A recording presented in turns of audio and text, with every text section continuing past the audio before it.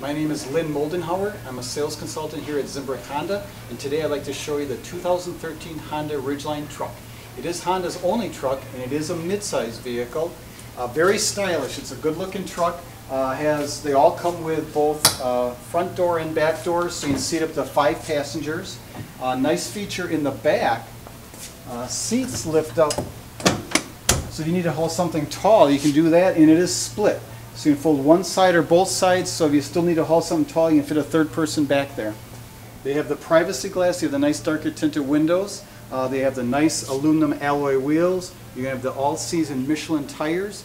Something very unique, most trucks are rear-wheel drive vehicles when they're not in four-wheel drive.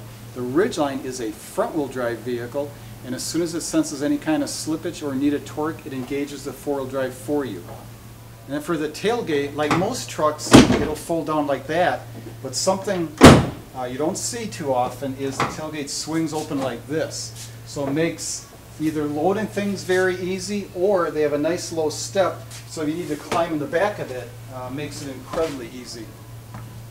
All the Ridgelines are lined, so you don't have to buy a bed liner or a spray liner. They all come this way from the factory.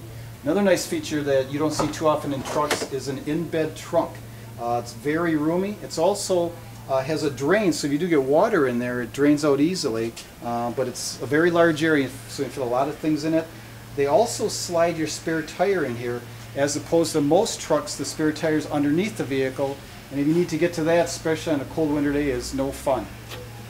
A couple nice features all Ridgelines have is one of them is uh, cargo lights in the back. So if you need to load something and get something out of your truck in the evening and really light up the cargo area, and the nice, another nice feature is the rear window slides, and it is powered. So if you want a little air, or if you need to reach something back there, just touch your button and slide it back. Again, my name is Lynn Moldenhauer, and I'd like to show you the new Ridgeline.